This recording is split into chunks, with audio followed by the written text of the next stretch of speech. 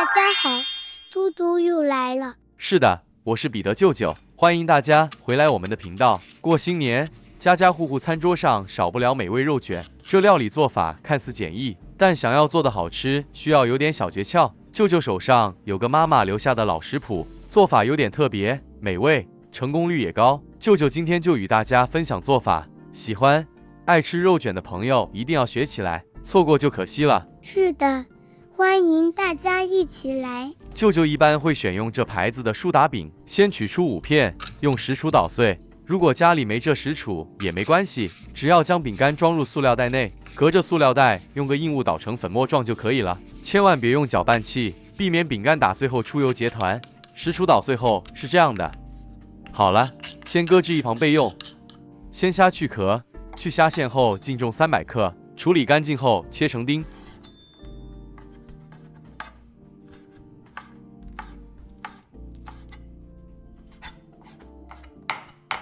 好了，一样搁置备用。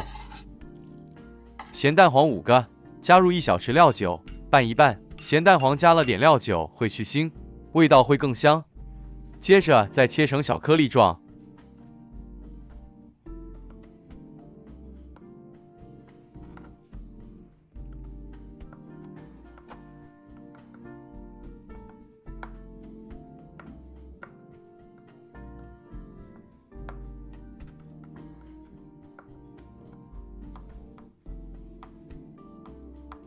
好了，开始来处理所有食材了。料理盆内倒入预先备好的鲜虾三百克，三百克肉末，这肉末肥瘦比例为三比七，带一点脂肪的肉末，成品才不会柴柴的。接着加二十克普通面粉，二十克蒜末，一大匙蚝油，一小匙麻油，一小匙白糖。一小匙胡椒粉，二小匙生抽，然后敲入一个鸡蛋，加强一点粘性。用双筷子稍微拌一拌。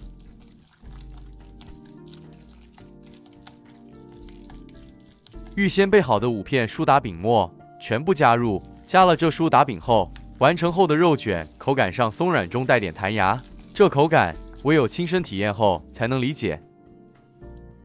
四十克胡萝卜切成细丁，喜欢成品带点脆口的朋友，可以适量加点马蹄，也很不错。戴个手套会比较容易抓匀。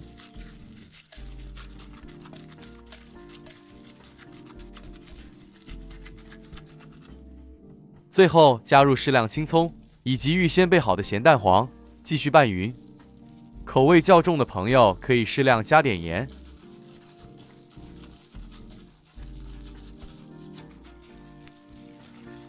好了，拌匀后待用。准备一张软性的腐竹皮，这在一般超市或杂货店都有出售。修剪成条状后，再用湿巾抹擦干净。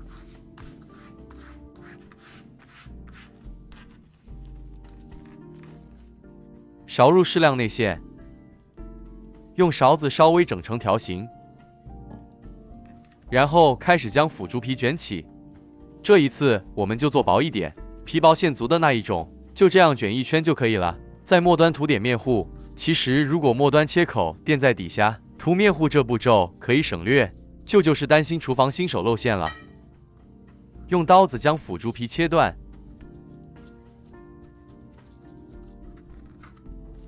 完成后的肉卷可以这样油炸，就直接享用。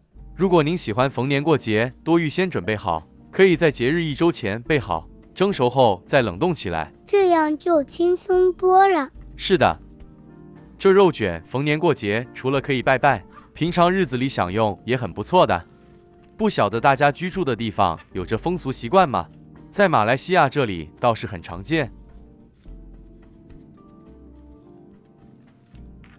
今天这食谱共做了九条。预热一锅水，在蒸格内抹一层薄油。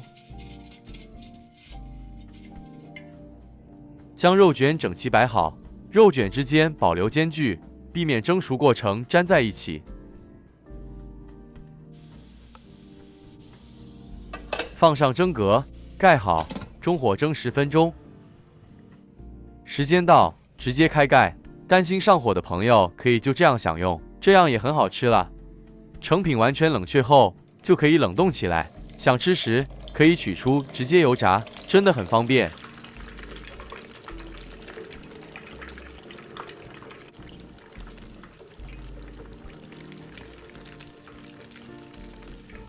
中火油炸至表面金黄色即可，趁热享用。表层的腐竹皮还是脆脆的。如果您觉得这样吃法比较单调，这里向大家推荐另一个我母亲的做法：苏打饼捣碎，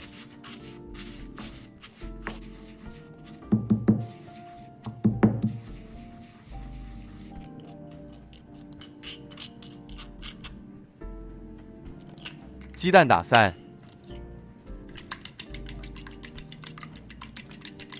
将肉卷取出，切成小段，每小段约三公分左右。先将肉卷过个蛋液，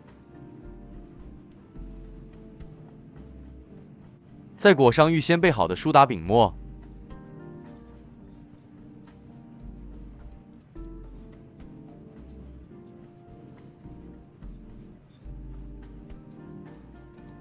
然后放入油锅内。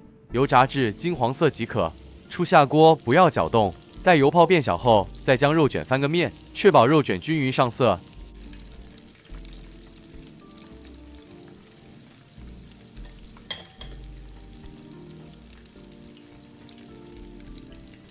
油炸至金黄色后即可离火。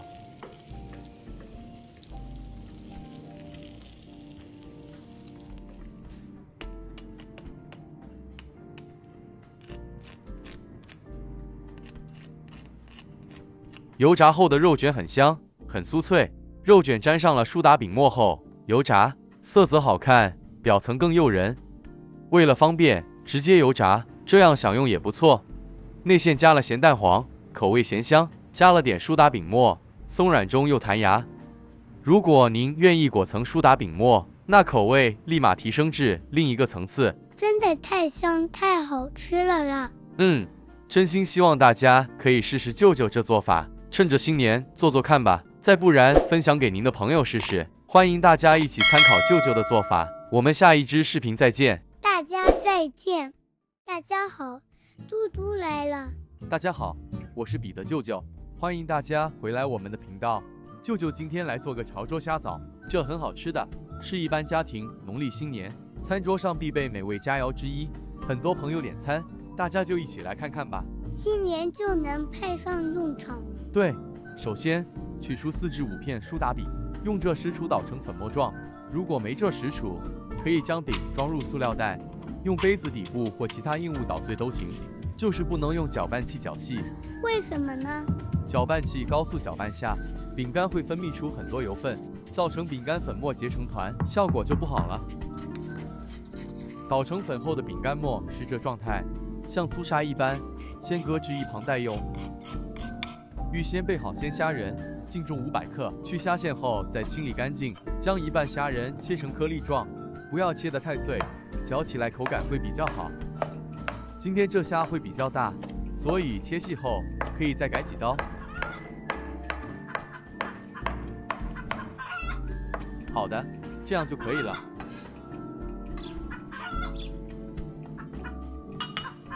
搁置待用。这是另半份虾仁。先用刀面将虾仁逐一拍烂，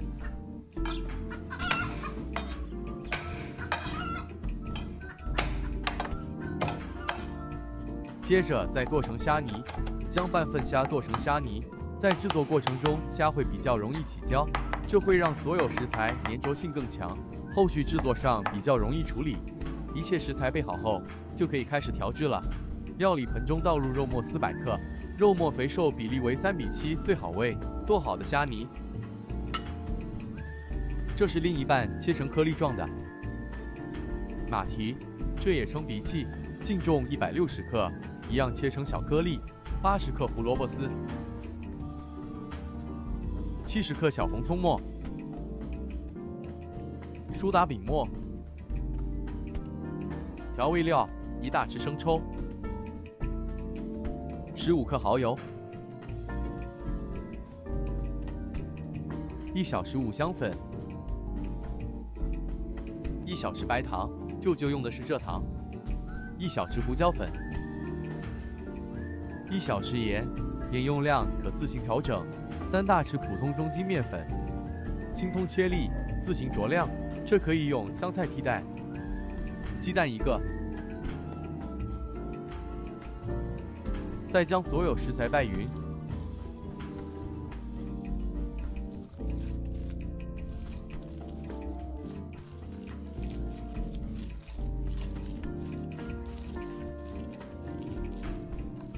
接着将拌匀后的食材抛摔。初抛摔时，食材会比较松散，比较建议小量处理。一点一点抛，是吗？是的，随着抛摔的次数多了，你会发觉食材越来越粘着。粘性会比较强了。为什么要这样做呢？经这样处理后，成品会比较有弹性，也就一般所说的弹牙。那要抛到什么时候呢？以前老家做这道料理时，外婆可以抛上百次以上，至于成品一个个就像乒乓球一样。那一定很好吃喽！瞧您都吃多了。最后再加入一大匙麻油，加麻油除了添加香味。也可以将其他食材香味锁住。拌一拌匀后盖好，放入冰箱冷藏三十分钟。取出一片腐竹皮，这在一般菜市杂货店都能买到。有人问舅舅为什么他买的是硬硬脆脆的，我想那买的应该是腐竹汁，一般用来煮着吃，不像这个是一种大片的。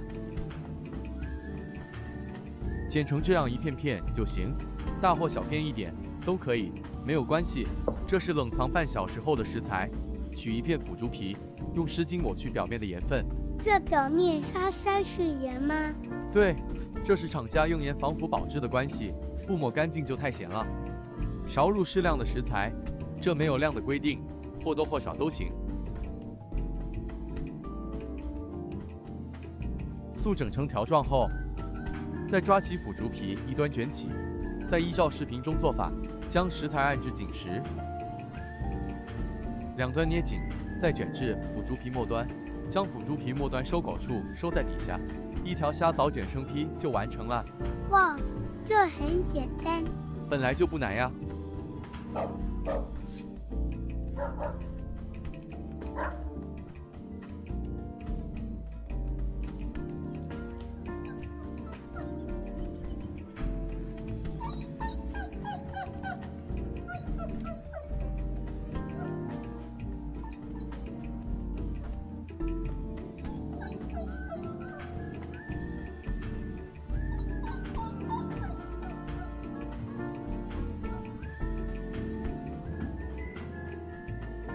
此食谱完成后，像视频中一般大小的虾枣卷共九条，蒸格内涂上一层薄油防粘，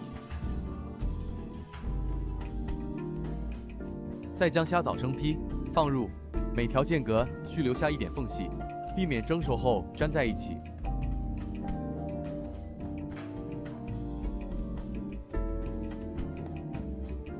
蒸锅内水预先煮开，再将生坯放入。九条分两蒸格，盖好，中高火蒸十五分钟。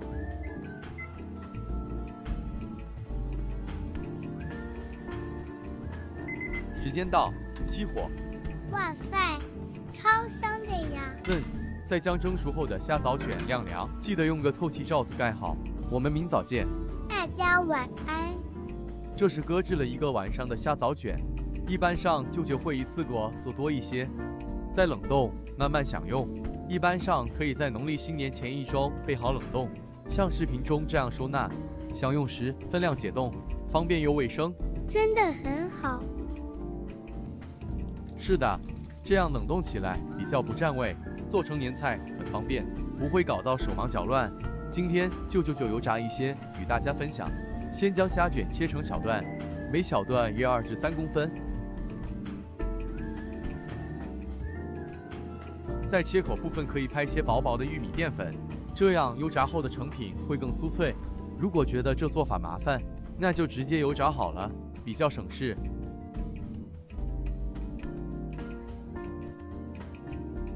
干货内倒入适量的油，油量不用太多，约两公分高就行。油热后将木块放入，木块起泡，说明油已经够热。这时候炉开中火就好，将备好的虾枣逐一放入。初下锅时不需翻拌，待虾枣底部油炸至金黄后再翻面，就这样一直油炸至虾枣微微金黄色。起锅前三十秒转大火，将虾枣内油分逼出，做最后逼油抢酥效果。金黄色后就能离火。整个油炸过程约三分钟。切一些碎瓜摆盘点缀，与虾枣配搭享用也特别美味。哇，这也太香了啦！是的，整个厨房都是香喷喷的虾枣味。希望大家喜欢舅舅今天的分享。这是我家沿用了很多年的潮州虾枣做法。舅舅还有另一个福建五香肉卷食谱，如果大家喜欢，舅舅再找个机会与大家分享。如果有不足的地方，欢迎大家留言赐教。谢谢大家。这也太好吃了啦！